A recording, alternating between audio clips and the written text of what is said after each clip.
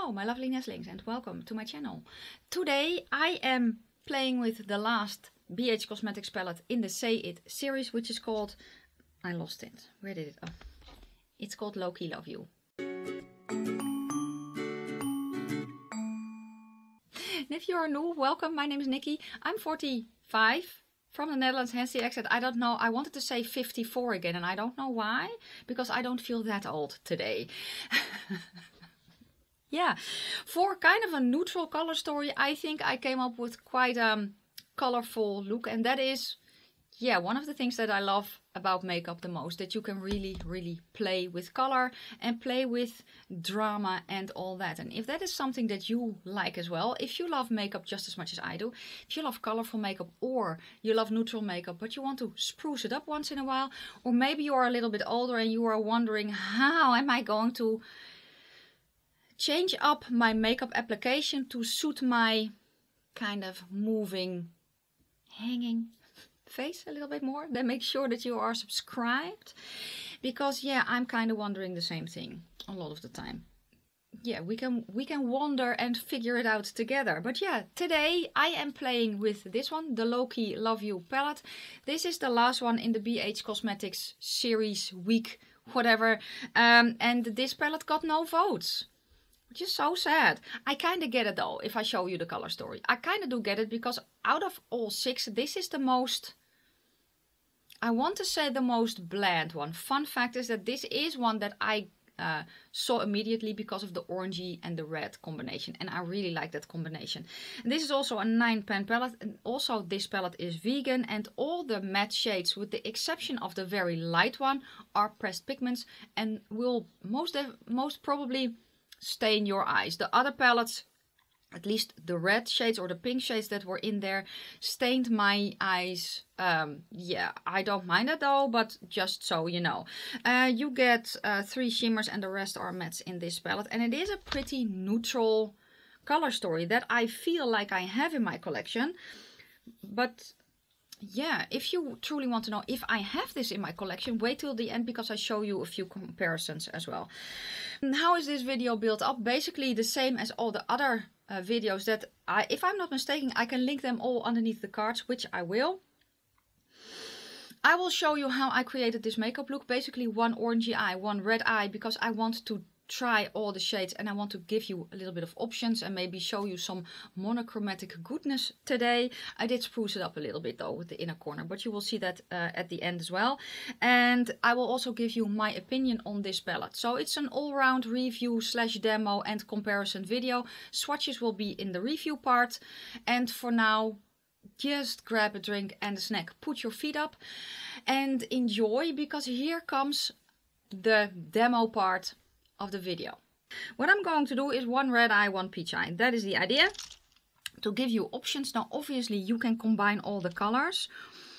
But I'm not going to do today. I'm going to be fabulous while doing my groceries. As I always do. Mm, I'm going to start with the shade called, I don't know, DTR. I don't know what that means. I usually don't use shades like this unless I want to blend out eyeshadow. So I don't usually set my base, but let's put it underneath the brow bone today. I need to put my mirror up a little bit higher so I can see what I'm doing. Um, I today primed with the Kiko Milano eye base, which is if you are an olive, the most olive that I have. the other videos I used the Natasha Denona eye base, but I was like, I also have one that is kind of olivey. So yeah, it's a nice shade. What can I say about it? I'm going to go to the next shade, which is called Maybe Baby. That one. I'm going to tap it on because I have not set my eyeshadow base yet. Now I know that Kiko Milano is sold in the USA. Uh, the eye base is also sold in the USA because I can see it on their site. So it will be linked down in the description box. Okay, I also want this underneath my eye.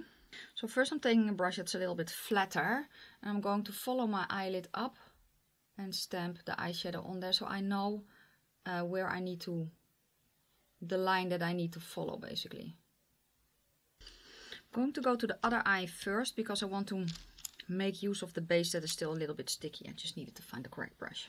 For the other side I'm going to go to the shade called Catching Feelings. and then start a little bit lower and then move up so that the first pigment is a little bit lower. Because I do want this red but I don't want it to be very very much more intense than the other eye which it's going to be anyway because of the nature of the color. But I kind of want to have the eyeshadow a little bit even though it is two different colors kind of cohesive and working together you know? Like it was intentional. Which it is. I'm going to go to the next shade which is the shade called My Fave so this is a little bit more of the vibrancy of the other shade that I used in the other eye. So I'm just going to blend it up a bit to get the same intensity as I have there. I am going to deepen up the red on this side, but it's going to be the same color as I used. I'm just going to put down another layer. For the this eye, I'm going to go to the shade called Currently Casual, which when I look at it is the most orangey one, is oranger than that one. Does that make sense? It's the least red, I don't know. I'm going to deepen up. Okay, That's what nice. I'm going to do is I'm going to go back to the shade My Fave, which is that orange I just used, and I'm going to put it on top and blend it up a bit. And then I'm going to use the lightest orange to blend that one out, uh, to blend here basically. Yes, I want uh, a more a more orangey feel here. So I'm going to go to the shade My Fave. I'm going to put it on the lid. It's nice. It's a nice shade to put on the lid actually. Then I'm going to go to the shade um, 143. Same brush. I'm just going to brush it over. And this is dry and I'm using it dry for a reason so that it picks up a little bit more of the orangey shade underneath. Then I'm going to go back to that orange matte and dust that one over again. On the other eye, I'm going to do the same thing with the red. So I'm going to go to the shade Catching Feelings. It's going to go on the lid. Then I'm going to go to the shade called Bay. I'm going to darken it up in the outer corner and the crease. What I'm actually going to do is I'm going to go to the shade called Maybe Baby, that lightest orangey. I'm going to blend it over a little because I don't want it as uh, cool toned as it is. And that is the eyeshadow base that I used because if I had used my Natasha Denona base, which is a little bit more peachy, it has more orangey yellow in it, it would have pulled more to red. I think actually I'm going to use the same um, peachy shade because if I use this one it does it's not that that red anymore. Um, so I think I'm going to go to this one with a very fluffy brush. I'm going to dust it over to get it to sparkle. And now I just create a red shimmer Okay, with that same brush, I'm going to go to the shade next to it, which is Crushy, which is a little bit more of that golden. Let's see what that one does. Oh, that's not too shabby either, so let's put that one on top as well then. Good. Okay, let's do it on the other eye as well, because I can. Let's put that one here then. That goldeny, crushy shimmer. These shimmers are very, very nice to use for this actually. Cool, now I have one shade left, which is the shade No, no Status. Let's put that, I don't know, let's put that underneath my eye. Oh, that's nice. I'm going to put that underneath my eye for both eyes. Okay, now I need an eye pencil. So let me think about an eye pencil, finish everything off, and then I will be back to show you the completed look and give you my opinion on this palette. I did spruce it up a little bit with a chartreuse eye pencil from NYX. Uh, it's one of their Epic Wear liner sticks in chartreuse flash. Then I added the shade Mary Jane from Colourpop in my inner corner, but it wasn't sparkly enough. So I grabbed the shade from Davina and it's the shade Gumballs and it gave it some extra festiveness to, uh, I don't know, to give it a little bit of extra festiveness. That was it. And to kind of tie it in a little bit with the sweater that I really wanted to wear, which is new. It's a sweater dress and I really want to wear today. Yes. That is it. Falsies are from Primark. The baby doll lashes in style 723. Lippy is from Colourpop in the shade Cookie. But it went on top of a kind of a lip mask thingy. So I don't know how long it will stay on for. Let me give you my opinion on this palette and show you the swatches while I am talking about it. This palette is maybe the most, I don't know, I want to say the most neutral one of the bunch. Uh, in the fact that I feel it is the most toned down, if that makes any sense at all. And that's probably why it got the least amount of votes. I do really like this color story though. And now that I saw uh, that I swatched the shades out on my arm, I could really see that the reds are true red. It's just that the base I used today um, because it is a little bit more of a mm, it's a little bit more of an olive one but almost a neutral olive if that makes any sense at all. That means that there is less yellow in it than uh, for instance, the Sigma or the Natasha Denona eye base. So that is what you can play with. So if you feel like you have a red that pulls pink on you, use an eye base underneath that has more yellow in it. So a warmer eye base. If you feel that your red is pulling more orange and you want it more cool tone, so more towards the blue spectrum or the, you know, that kind of spectrum, use an eye base that has more pink in it. For instance, the one from Anastasia Beverly Hills. Uh, that is how you can play with shadows, especially these. Now, because I did not use my Natasha Denona one, which is more peach on me, the peach side did not pop as much as it would on top of that base, but I wanted to, I don't know, try out something different. So that is what happened here. I do really like how the look came out though. I think the shadows performed beautifully.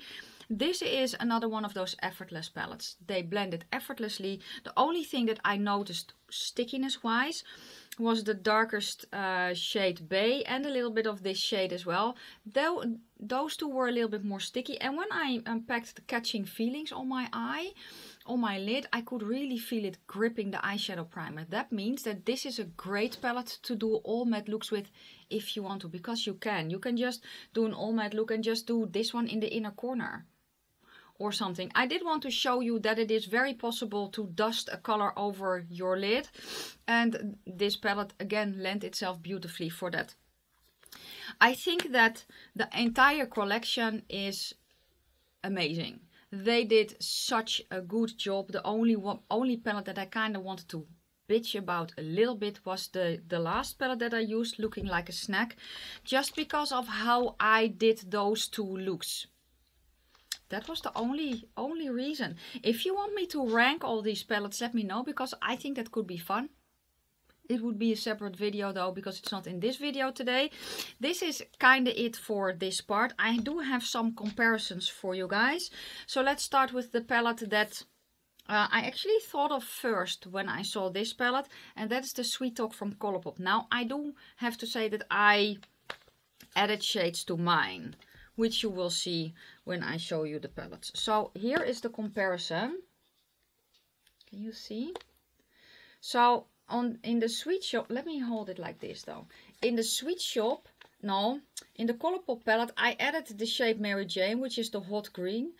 Yeah, the hot green, which is the green, and I added the yellow. Where's the yellow shade? That shade I added as well. So it's not uh, original anymore. But yeah, this was kind of what I was thinking of because of the peachy, the peachiness. I also pulled one from Eunique Beauty, the Me, Myself and I Pressed Pigment Palette, because I think that you can kind of get similar vibes. But again, I don't have true dupes. I just wanted to show you some comparison because maybe maybe you have this in your collection. Now let's go to the one that I think a lot of people are wondering about, which is the orange sorbet. So here I have the orange sorbet. Can I do it like that? So you can kind of see. So yeah, it is not, yeah, it, it's not it, right? It's not the same. So yeah, I think uh, another one that I pulled is from Nomad. It's the Cartagena Magica, but also it's just not... I felt like I had similar in my collection, but I think I can dupe out some shades. But I don't have this color story uh, in my collection. And the last one that I wanted to show you is the Vixxen from VE Cosmetics. And this one I think you can get most um, mo the, the most similar vibe with. That is that is it. Those are my comparisons for at least what I have here in my collection. I think this could be a very nice everyday palette for a lot of people. Yes, very nice daytime daytime palette that you can kind of amp up a little bit if you want to as well. So yeah. Let me know down below what you think of these looks. Do you have a favorite? Do you like the orangey one? Do you like the reddy one? Would you have rather that I had combined everything together?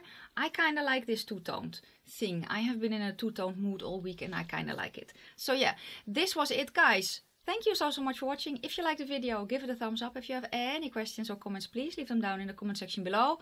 I'm going to wish you a fantastic day, a fabulous evening. May your foundation always match your neck and I will see you tomorrow. Bye guys.